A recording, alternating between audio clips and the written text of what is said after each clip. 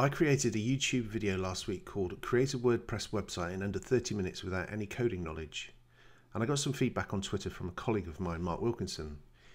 He said, just watch you edit that header template part in the video and wow, it's so complicated. So I asked him in what context? Was it my demonstration? He replied, the whole wide width, full width and constant nesting of groups and rows. So I thought, okay, that's interesting feedback.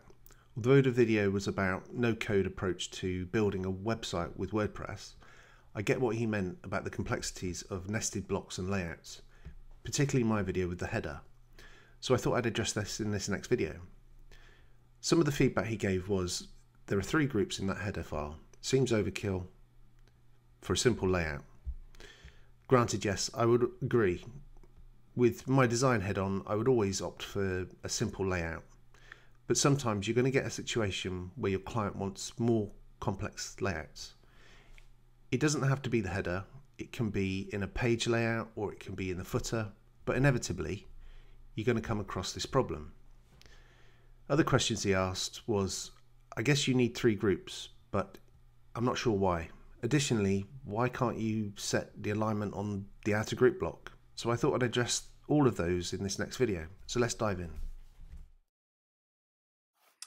Hi, Elliott Richmond, uh, WordPress theme and plugin developer. So I just wanted to follow up on that last video I did um, from the feedback that I got from Mark Wilson, which is um, always useful uh, to know, but I, I, think I need to sort of elaborate on it. So yeah, so just to give context, what I'm going to do is to explain like the traditional way that we kind of develop websites. So this represents kind of a browser. Now, generally what we do is if we put in a div on in HTML and then just load it in our browser, this div will take up the well, it will take up um, the full width depending on what we elements we put inside that div. It would actually create um, an auto size div like that unless you um, did something fancy with CSS and you know change the display to block and block means it would take up the full width and you can give it a color background and things like that. Um, but with uh, as developers, we would um, generally create, or sometimes we would create a, what's known as a container, um, and that would we would set a width, width on that, set margin zero top and bottom, and then the width horizontal set um, margins to auto. And what that would do is it would center our container div. Now that's okay. I mean that works, but um, sometimes when you want the header, especially with navigation, you want a, a full width and color background. And what that means is you then need to create an, another div nested inside it um, and then set your container um, widths and margins, etc., to, to get it centered on the page. Now, inevitably, um, you're going to maybe want to put in a logo and maybe a site title and just grab that. Um, and that means we're going to have to put in an, another kind of containing div. So if we put an outer containing div there, we can then put in uh, maybe a site title and then we've got a tagline under here, or that could be a telephone number. And then, you know, naturally we'd have a navigation and then maybe if the client might say, well, I want some, I don't know, like a ticker or something I wouldn't recommend that, but I'm trying to keep it as simple as possible. But they may want a ticker underneath there. Again, this would basically mean you'd have to put in a containing div. So your containing div would then have your navigation, and then you may have, I don't know, like another banner, might be an announcement banner or something like that. So you can see that all of these, uh, just to achieve what we want to achieve, it gets fairly complex. But in the spirit of the last video, we're not approaching this with code, we're doing a no-code approach, so um, we can forget all that. And I'm going to pop back to my original site editing, and I'm just going to explain, just elaborate on some of the questions that Mark asked um, in the tweet. Um, and it was basically about, you know, the nested blocks in in the header. Can it be simpler? Yes. Uh, but considering real world, real world complexities, um, you're going to get scenarios where they need to be more complex. So just to illustrate how we do this with the no-code approach um, in the in the illustration I did earlier or before. Um, let's see how we can build that. So I'm just going to turn off my sidebar here. So this is how I kind of originally started with my header that, spans the full width, and that that's that's fine. Um, now, one one really important thing to know when you're doing the full site experience or full site editing um, is this list view is just you know it, it's going to level up the way you can do layouts and stuff. So we can see that we've got um, a group, what I'd call a containing block. Now, containing blocks basically mean that you can nest other blocks within those blocks. So a containing block is, is a block called, uh, for me it's a group block, there's a, a row, there's a stack, there's the cover block I believe, you can nest things inside that as well. Um, and yeah, so why do we have all of these nested blocks? Well, we do this because to achieve that, that layout. So let me just, uh, oh, I need my sidebar. So because this is a nested uh, block and we've got something inside it, we need to tell Gutenberg that this is, um, the inner blocks use the content width. Now, if we look at our, uh, we'll say this is the parent block, we look at the immediate child block, which is a row, we can see that we've got um, we've got justification and we've got vertical alignment.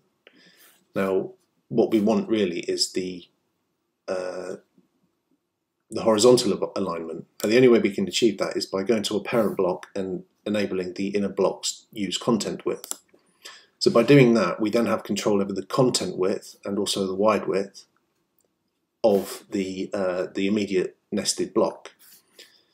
So we can see that something's happened here already. So if we go to our row, we can see now that we've got an icon which is the alignment for that nested block. If we click on that, we can see that we've already got some settings uh, for the maximum width, which is between you and me, it's it's the content width, and we have the wide width, which is a thousand. It's like, well, we didn't set anything here, right? So where are they coming from? Well, they're coming from what's known as the global styles. So if we look in our global styles, just to uh, explain that these this is the settings icon, and that pertains to the actual block that you're you're um, editing or, or, setting.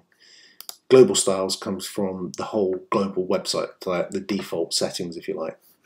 So if we go to the layout, we can see that we've got a content width of 620 and 1000 wide width, and that is where those settings come for the, the settings on this um, block here.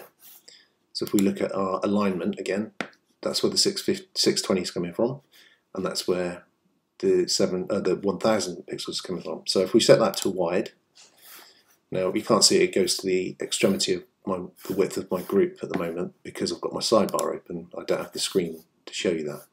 So now we can see that we've got um, that is aligning to 1000 widths.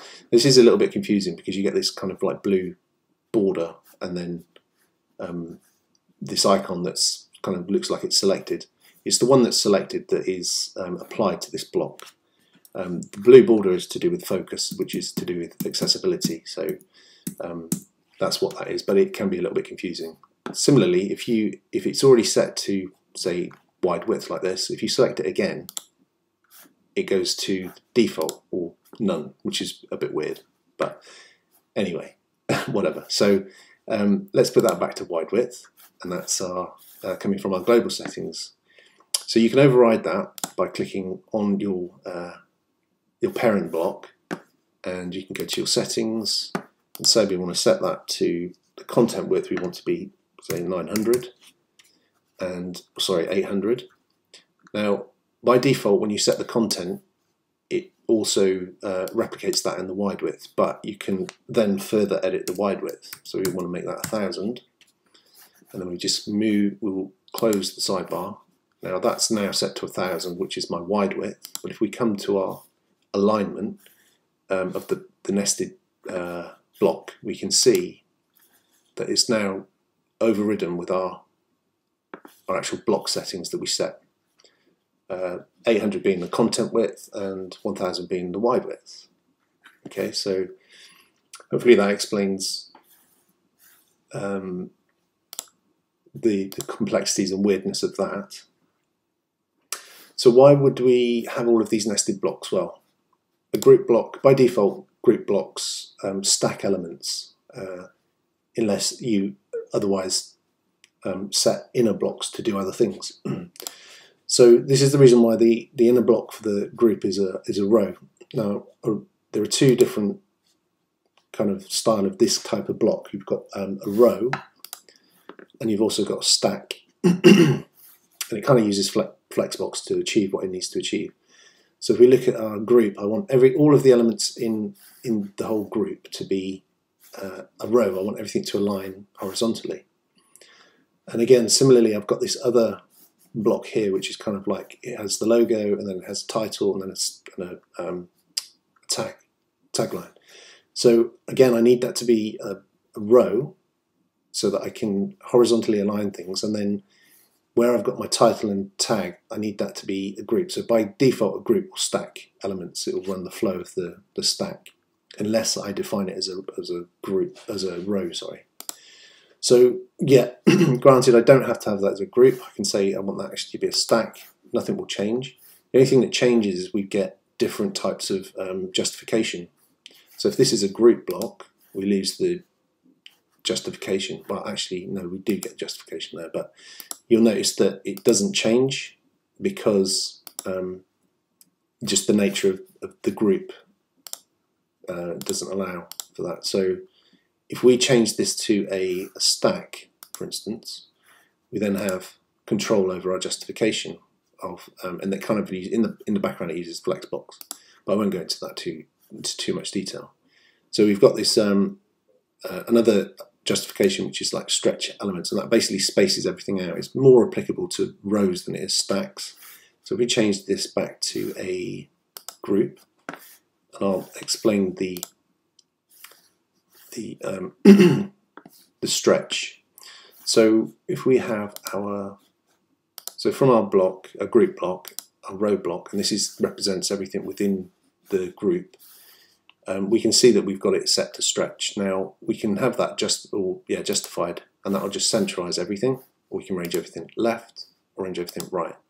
So by using the stretch between, it basically just spreads everything out evenly, which is quite nice. Um, to do that with code uh, CSS is, is quite complex, especially when you've got nested um, flexbox elements. Um, but this is the no-code approach, right? So um, what else can I explain? So, so this is a group block. Um, you, like I said, you may have the title, you may have a tagline, and you may client might want you know a telephone number in there. So you can play around with all of the the alignments and padding of these to sort of make them fit nicer, basically. Uh, so let's just get rid of that that's going to go out of the, the context of this kind of explanation, really. So uh, I've explained blocks, container blocks, settings, global, content widths, um, alignments. Yeah, so I think that covers everything. Uh, yeah, if there's any questions or feedback, uh, feel free to yeah make some comments or like this video, share. Um, always helps and uh, I hope that's kind of addressed uh, or taken a deeper dive into um, why I did what I did. Again, you know, argue you could make this a lot simpler, of course, um, but you know, let's take it to an extreme, right? okay, so thanks for watching. Like I said, like, share, subscribe, whatever. That'd be great. Cheers.